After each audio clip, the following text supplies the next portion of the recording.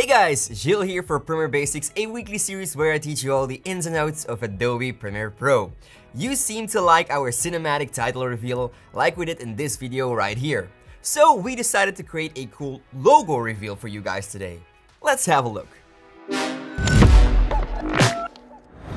Okay, so first up, open up Premiere Pro and create a color matte.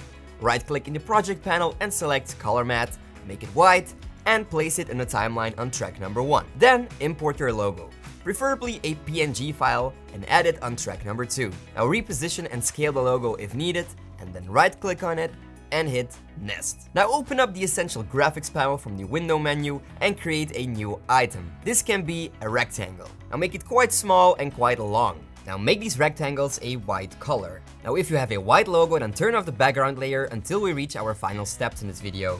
Uncheck the Uniform Scale checkbox. Now animate the horizontal scale of the rectangle from 100 to 0. Then right click on the first keyframe and ease it out.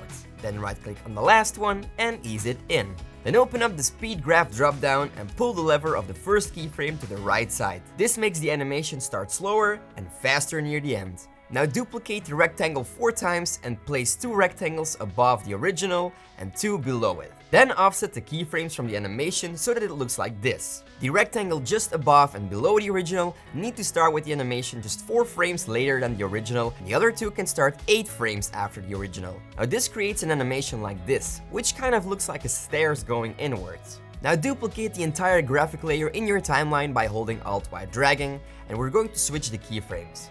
So the first keyframe will become the end and vice versa. Now make sure to do this with precision so you don't mess it up. Do this for every rectangle, but make sure that the timings of the animations remain the exact same. Once we've done this, we will have the same animation going outwards. So a reverse version of the first one. Now this duplicate will be used as a track matte, So go to the effects panel and place the track matte effect on the logo layer. Then set the matte to the video layer with the duplicate graphics layer. Okay, so you now have this cool logo reveal right here, but let's spice it up a bit. Offset the original graphics layer about 4 frames to the right. From the effects panel, look for the basic 3D effect and drag it onto your logo.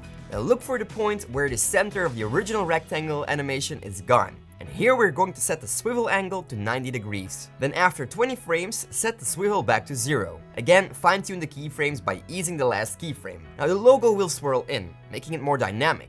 But we're also going to add the same basic 3D effect to our original graphics layer now. Now in the beginning, create a keyframe with a value of 0.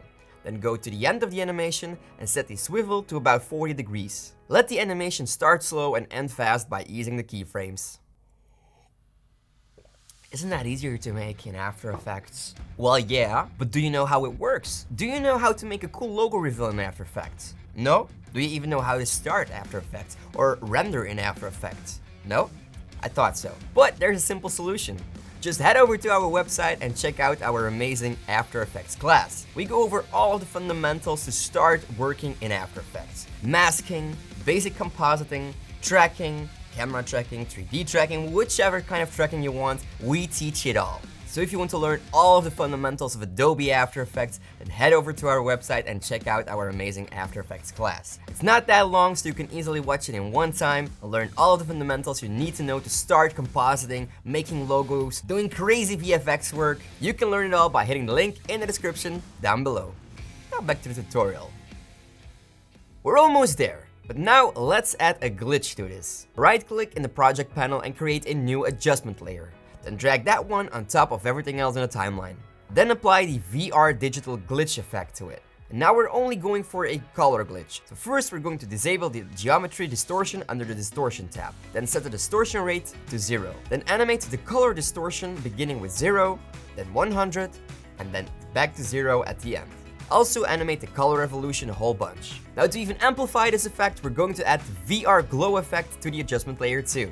Decrease the luma threshold and increase the glow brightness. Then increase the glow saturation and animate the glow radius going from 0 to 150 and back to zero again at the end. Now select everything except the white background and nest it. Because we have a white logo, we want it to pop from our background. So right where our logo becomes visible near the end of the glitch, we're going to place a cut on the original color matte and place the invert effect on it to make it black.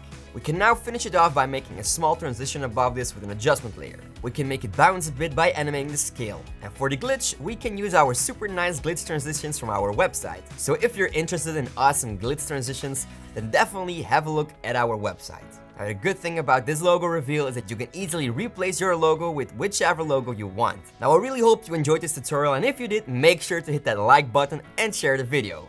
I'll see you guys next week for a new tutorial and as always, stay creative.